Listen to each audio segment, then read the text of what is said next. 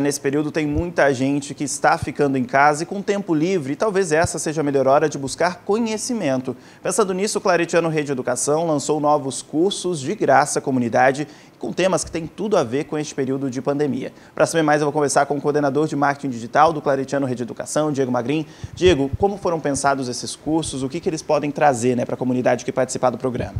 É como nós estamos vivendo um momento de isolamento social, nós pensamos em atividades, em, mini cursos que estão totalmente voltados a esse tema. Então nós montamos uma série Conhecimento em Casa que traz esses vídeos, como por exemplo, como organizar suas finanças nesse período, né? como você se exercitar, como você comer bem, como se alimentar bem nesse período.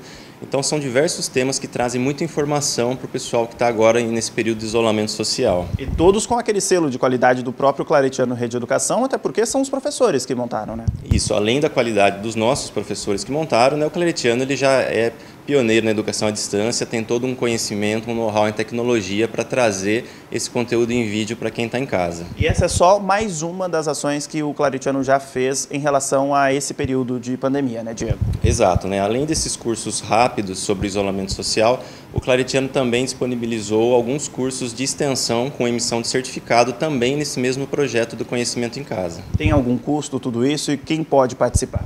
O conteúdo é totalmente gratuito né, e todo mundo pode acessar esse conteúdo. Basta acessar o site e escolher o tema que mais lhe agradar. Tá certo, Diego. Obrigado pelas informações, dicas importantes, né? Então, para quem aí está nos acompanhando. E olha, o endereço eletrônico para que você possa fazer isso é claretiano.edu.br barra conhecimento em casa. Aproveitando esse período de quarentena para sair melhor disso tudo, até com mais conhecimento.